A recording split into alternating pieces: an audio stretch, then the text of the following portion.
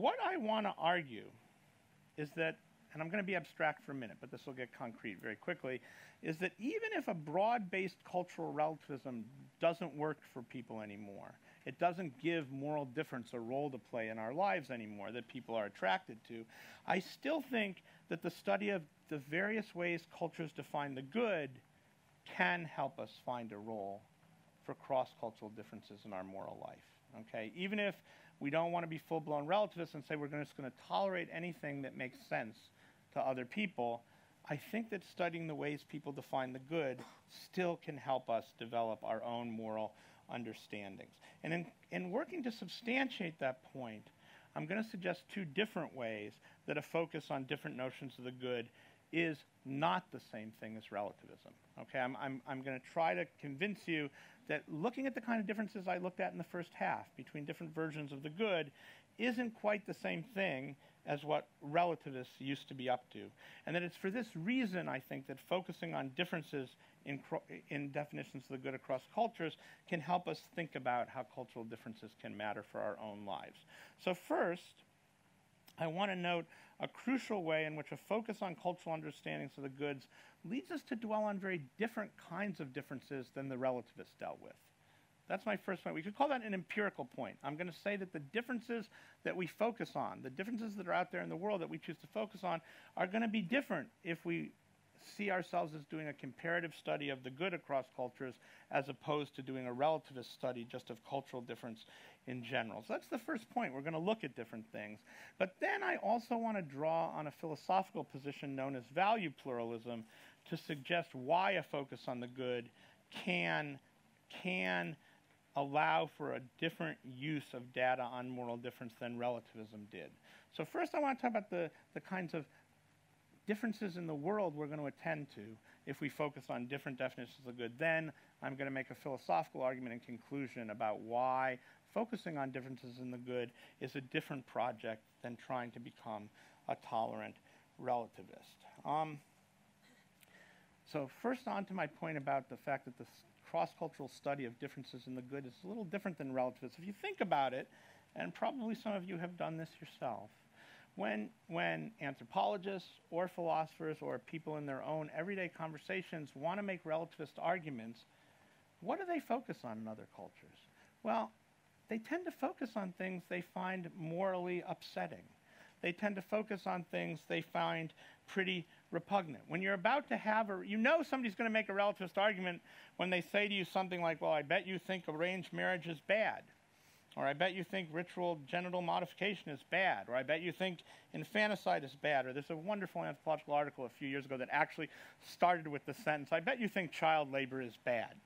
I knew I was in for a good article uh, when she started with. But relativists always want to start you with something that you find morally repugnant, with something you basically find, as it were, disgusting. And then their technique is to tell you enough about the culture it comes from that maybe you could appreciate why it makes moral sense in its own local cultural terms.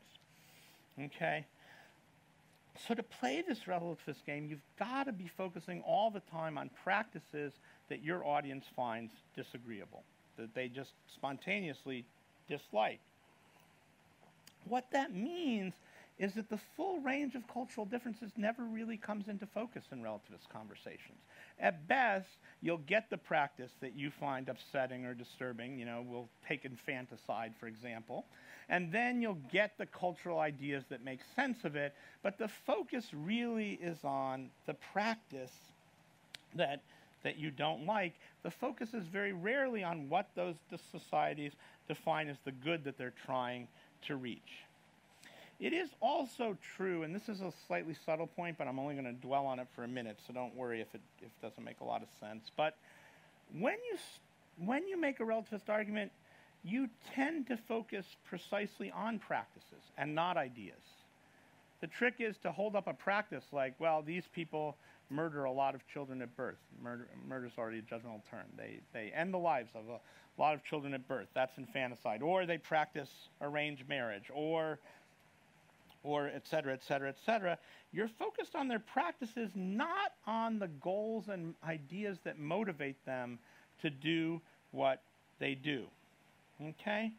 You don't study why they're motivated to do these practices when you're just trying to make a relativist argument, and that's a huge loss because most people's practices only really make sense when they're embedded in versions of the good life. And I'm arguing that we should focus on those versions of the good life. So just take the practice of queuing in the UK, for example, right, which I know is a very important part of, of British culture. That's a practice. I could hold it up just as a practice, and in fact, in some places, people find that pretty exotic, right? That the British take it so seriously, right?